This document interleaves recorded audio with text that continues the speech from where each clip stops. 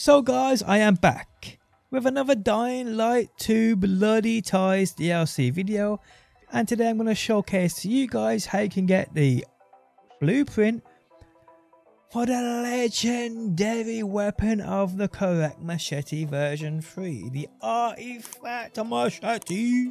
Now, since the start of the game guys, you guys know we searched high and low for this thing, thinking it was somewhere in the game. Obviously it weren't, now they've added it with the DLC, but it comes with a twist.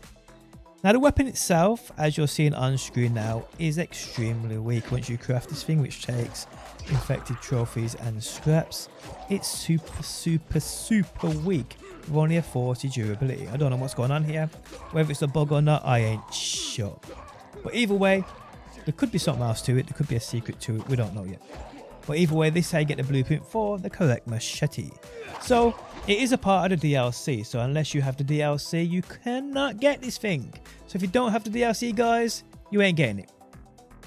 So, the Carnage Hall. You all know about this, the main focal point of this DLC. Now, you want to come to Cerberus. Now, we know he's the tournament plan dude uh, for this uh, Carnage Hall. Now, this is actually hidden within one of these. It's inside this one right here, One Day in Harran. Now, if you've already done this as part of the campaign, obviously right here, guys, you can't redo it. You can't go back into it. For some weird reason, it just doesn't tell you how you do that. Now, when you complete this for the first time, you will unlock the Carnage Hall poster. That's how you redo these things. So, if you've already done it um, and you can't select it there, you need to come this way. So there's your room right there. So at your room, guys, come straight forward and go left. As you can see, these are the ones right here. We have the posters for the ones you've already completed. So if you've already done it with Cerberus, you need to come over here to get this thing. So load this up. Pretty easy, pretty straightforward. You basically have to open the box 80 times. yep, let's skip this. Let's skip this. Okay, so we need to get up there. So to do this, guys, come this way. Come left and jump up here. Hey, you know what?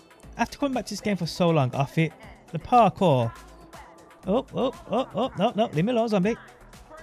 It's, it's just not the same as what I remember. It just feels so much weirder. I know I'm a noob, but hey. So jump up here. Then when I get up here, just like so. Jump up here. Now we need to go across there, like so. One jump two jump, and then guys, we need to break this bunny board.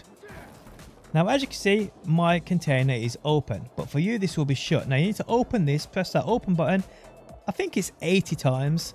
Now, you will be interrupted by zombies, so you need to stop and take them out when they attack you. But you should have more than enough time to do this. I completed it. I think I opened it with about a minute to go.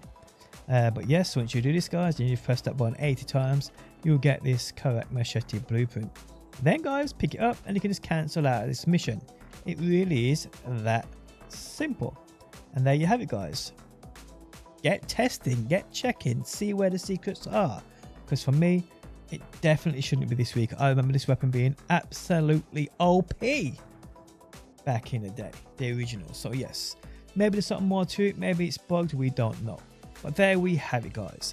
Guys, if you enjoyed the video, leaving a like really helps out. If you like what you see and want to see more, be sure to subscribe and hopefully guys, I will see you on that next one.